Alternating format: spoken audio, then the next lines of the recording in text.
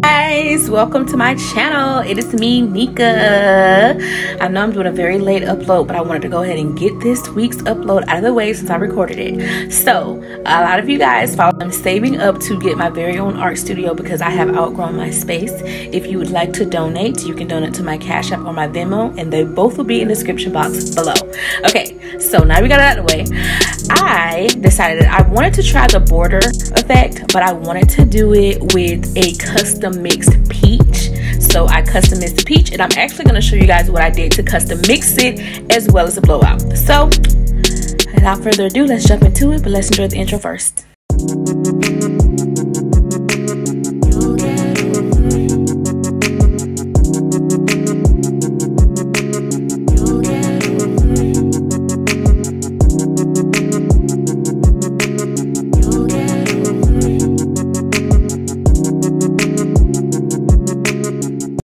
Hey what's up you guys? We are jumping right into it.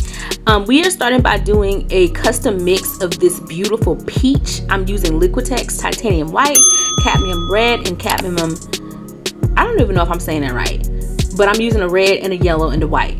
Now i'm going to take one to one of white and yellow and mix it first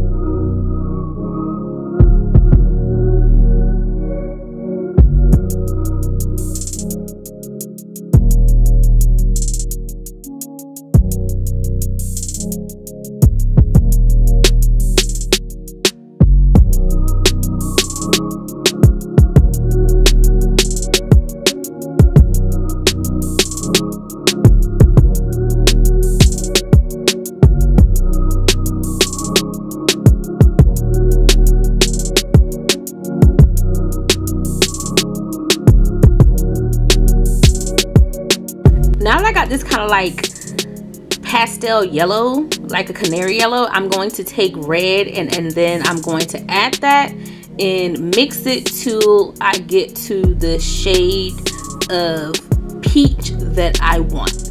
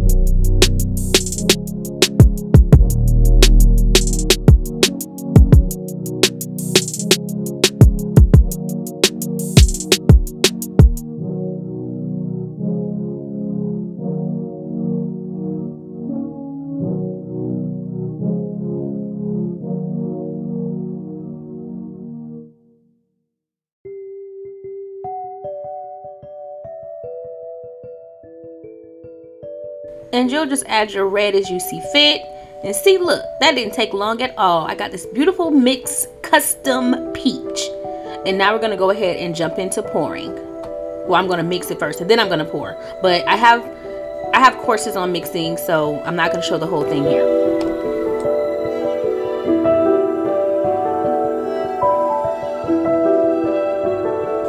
all right jumping right into it i'm going to put my border down first because i'm doing a peach border um, these canvases i poured with ready-made paint oh ready to mix and pour paint I have never done this before and I will never do it again. I will stick to mixing my own paints. I thought I was going to be able to take a little step out where I don't have to mix the paint because honestly, when I have really big pieces, that's the only part I don't like doing is mixing the paint. But I'll stick to mixing because this was atrocious. I'm talking about the colors split so much the binders didn't hold up. Like I am not for ready to pour painting. Not at all. I need to be able to mix it myself and control this. But yeah now I am just taking this mix. Look at how beautiful that peach is. If this is not already a color with Liquitex. I don't believe it is. And if it is, it's definitely not a color that is available near me. If it's not already a color, they need to make this a color because it's so pretty. Look at it. Ugh.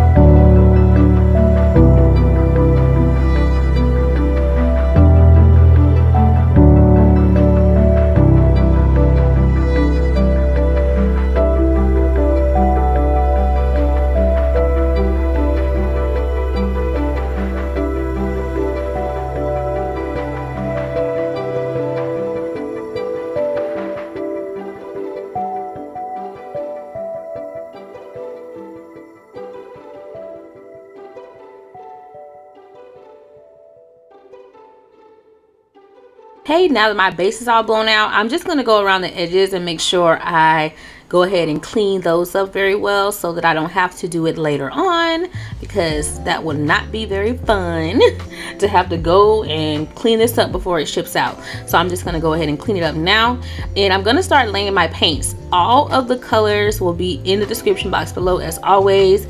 From the most part, I'm using all Liquitex and I believe I am using only one, no, I'm using two other um, brands. The copper, nope, that's not true. I'm using rose gold and it's from um, Art Deco.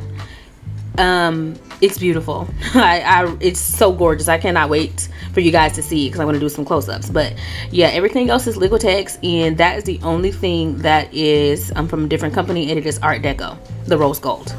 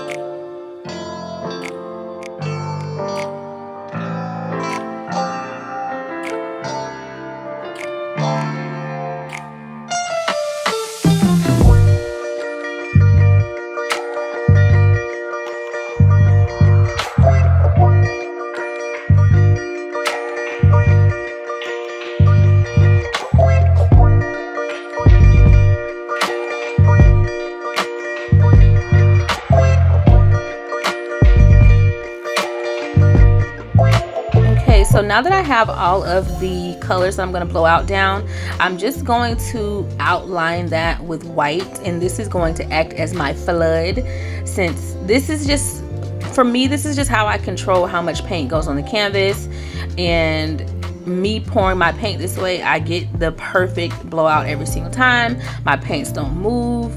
It's worth it to me. So I'm gonna go ahead and put my white down and then I'm gonna blow it out. Um, I want you guys to pay attention to how I blow the colors out. I'm sorry, well blow the white out. Um, I have these corners that I have to get to and I use a blow dry that has a wider nozzle so that I can kind of like like get in the corners a little bit easier like I don't go full full first I said full first I don't go forward. I kind of go to the side and with the nozzle being so wide it can hit the sides without me um, blowing out my colors before I'm ready to actually blow them out. Like here you see how I'm able to I mean, this is the best blow dryer ever and it's only like $11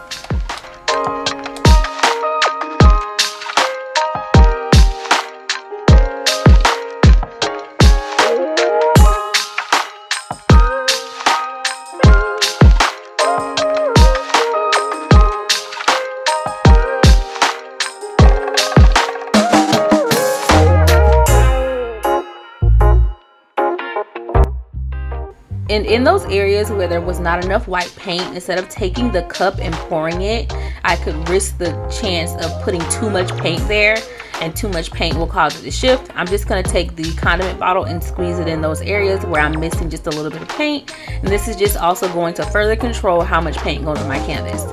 Now to the fun part. We are going to blow this out now with these little open mirror portal things, you have to be a little bit more controlled with how you blow it if you want them to look similar. I don't want them to look exactly alike, but I do want them to look very similar. So I'm going to take my time in blowing this out and I'm going to blow it out half and half. Like I'm going to blow it out in sections. I'm not going to go around the whole thing because I don't want to forget the movements that I'm taking to blow this out and then I'm gonna go ahead and manually blow blow with my mouth in certain areas. And yeah this is just going to help me to remember what movements I'm making. And I don't want to make too many movements and not remember what I'm doing for the other canvas. So I'm just going to do this in pieces in pots if you will